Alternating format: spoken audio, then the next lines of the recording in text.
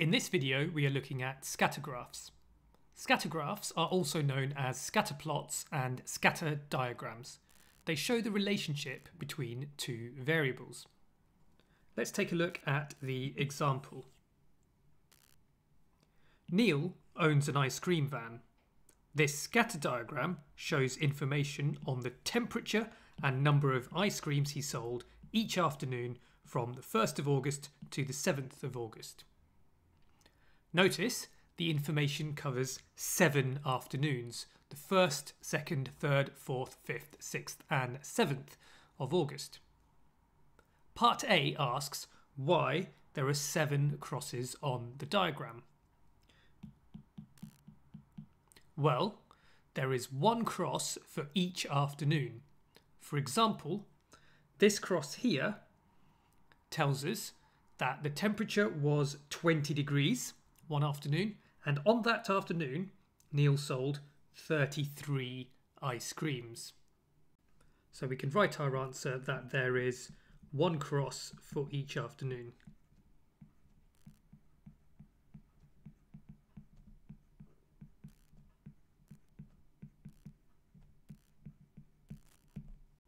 Notice, by the way, that just from this diagram, we can't tell which cross represents which date but we know that the seven of them put together cover the seven afternoons from the 1st to the 7th of August.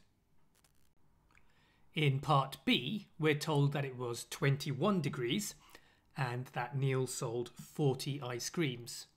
We need to plot this on the graph. So I will read along to 21 on the temperature axis and up to 40 here and plot the point with a cross. In part C, we need to describe the correlation. Correlation is a measure of how closely two variables are related. In this case, it seems like the warmer it gets, the more ice cream Neil sells.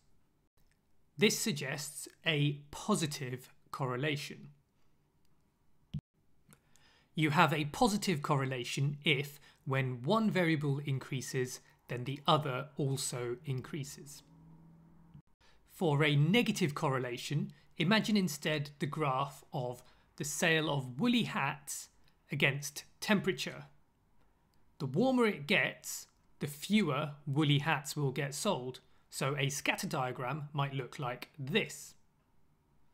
You have a negative correlation in this case, a negative correlation is when one variable increases, the other variable decreases. Let's get back to the question. In part D, we need to draw a line of best fit. This is a straight line that tries to be close to the points plotted here. Now, there is a mathematical way to do this accurately, but at GCSE, you just do this by eye and try to get a reasonably good best fit line.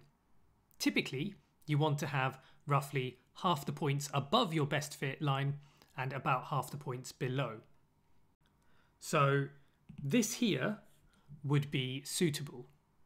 Notice I've not extended the line too far beyond the range of data that I've got, which we'll come back to in part F. In part E, we need to use our line of best fit to estimate the number of ice creams Neil sold on another day when the temperature was 28 degrees. For this, I read up from 28 degrees to the line of best fit, and then I read across and I get 62. Based on the data, this seems like a reasonable estimate for how many ice creams he would have sold. Bear in mind, though, that this is only an estimate, we can't know for certain.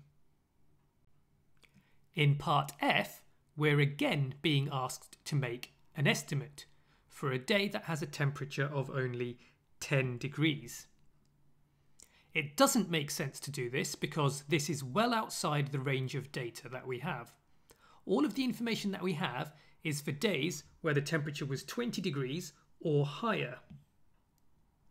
So it's not a good idea to continue the line of best fit that we have outside that range of data. In fact, we can see it's a bad idea because if we did continue the line, we'd end up having to predict a negative number of ice cream sales for, for example, a 5 degrees day, and that just doesn't make sense. So, in general, it's a bad idea to try to use a scatter diagram to make predictions or estimates outside the range of data that you've already got. And that's why I only drew my line of best fit in part D as far as this. So our answer to question F is that no, it does not make sense because 10 degrees is outside the range of our data.